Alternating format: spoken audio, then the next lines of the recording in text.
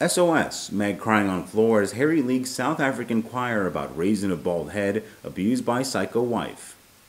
Prince Harry asked a South African choir for a group hug backstage at a summit in Tokyo today after its conductor told him he was so modest for such an icon.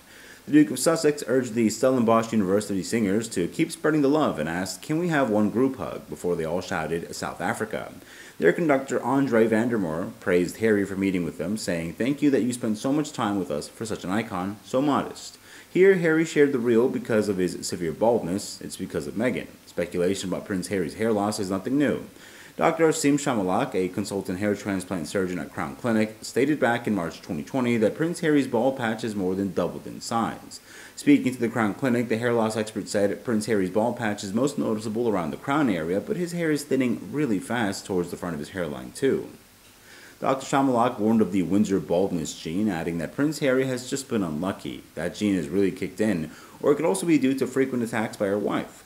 Meghan has always been said to be an extremely violent person. It's something that has been verified by her brother, so the fact that the Sussex family was attacked by her psychosis is nothing new.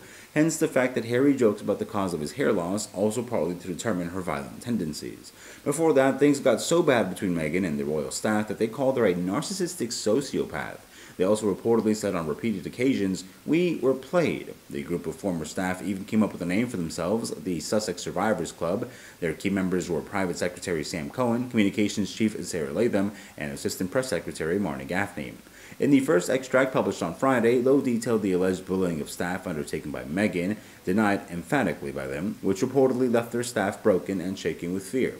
Part of the problem with dealing with Meghan's alleged bullying, according to one source, was the supposed gentility and civility of palace staff, which Meghan would likely contest to.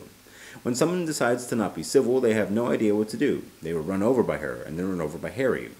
Meghan had a bad relationship with Edward Young, the then Queen's private secretary, and Clive Alderton, Charles' private secretary. With that past, it's not unusual for Meghan to attack Harry and his family in anger. At the summit today, Harry told the audience that he would happily live here if they'd have him. He smiled, laughed, and gleefully waved to the crowd as he praised the warmth, compassion, and generosity of the special Japanese culture. Harry was greeted with rapturous applause at the summit after saying, Well, firstly, hello everybody.